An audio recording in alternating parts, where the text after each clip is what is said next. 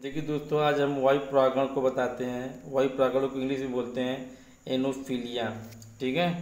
टिकी coaching rise to में आपका वेलकम। आज हम आपको वायु प्रागण के बारे में बताते हैं। देखिए, बुक से लिखने रहे फिर इसी में निशान लगा कर आपको कर देते हैं। चीज़ लिख लिख कर आपको क्या बताएँ, आपको समझा देते हैं।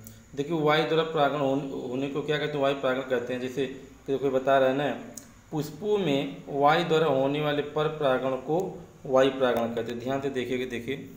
आपको सफ़ा सफ़ा दिखाई दे। पुष्पों में वायु द्वारा होने वाले पर परागण को वायु परागण कहते हैं और पुष्पों को वायु प्रागृत, ठीक है, पुष्प कहते हैं। वायु प्रागृत पुष्पों में कुछ विशेषताएँ पाई जाती है जो निम्नलिखित हैं। देखिए दिखाई दे रहा। वायु परागृत पुष्प छोटे आकर्षक रहित होते बस इतने लिखना है। वायु प्रागृत पुष्प छोटे आकर्षक। देखिए, जहाँ तक हमने निशान रेड पेन से लगाया है बस इतना ज़्यादा प्रॉब्लम मत लिखे। दूसरा देखिए, वायु प्रागृत पुष्प प्राय एक लिंगी होते हैं, बस जितना निशान लगा उतना ही। ठीक? जैसे मक्का में फिर नई पत्तियों के निकलने में पत्ते खिल जाते हैं, जैसे पॉपुलर में। देखिए, दिखाई दे रहा है ना आपको? हम्म? चलिए, ठीक है, आपको देखिए पूरा। देखिए, तीसरा देखिए ब्राय एवं दल या तो या तो होते हैं या नहीं, फिर भी बहुत छोटे होते हैं। जिससे पराकणों में वर्तिकाक के बीच वर्तिकाक भी रुकावट ना बन सके, ओके?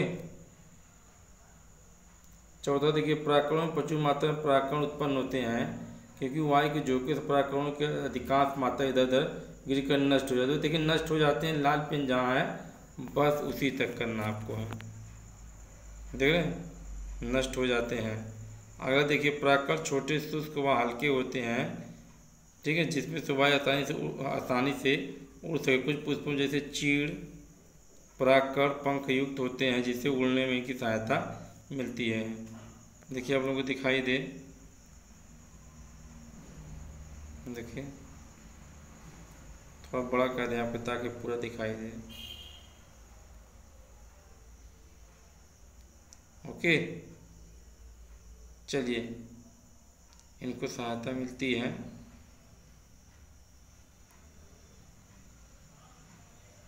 कुछ कट कर नहीं रहा चलिए आगे बढ़ते हैं। दिखाई दिया ना? अगर लाइट भी जला दे रहे हैं। अगर ना दिखाई दे तो।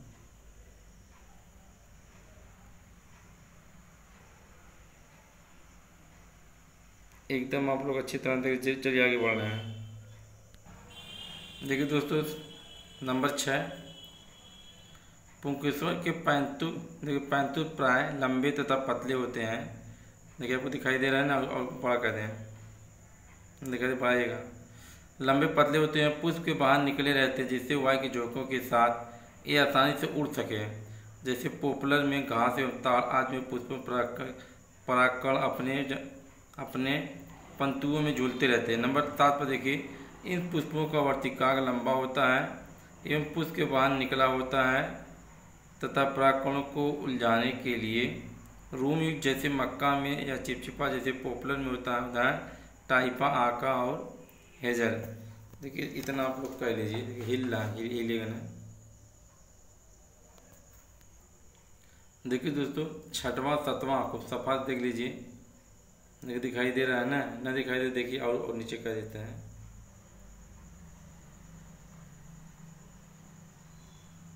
चलो दिखाई दे रहा है। ओके? साथ हो गया? चलिए आप लोग को, आप लोग को मेरा वीडियो कैसा लगा जो लाइक सब्सक्राइब कमेंट हमको बताएगा। थैंक्स फॉर वॉचिंग माई देखिए, जो इम्पोर्टेंट जितनी लाइन है, उतना ही लिखवा रहे हैं। ज़्यादा हम आपको नहीं लिखाने की प्रयास कर रहे हैं। ओके? चलिए आगे बढ़े। चलिए इसके बाद आपको वायु प्रागण के बाद जल प्रागण बता रहे हैं।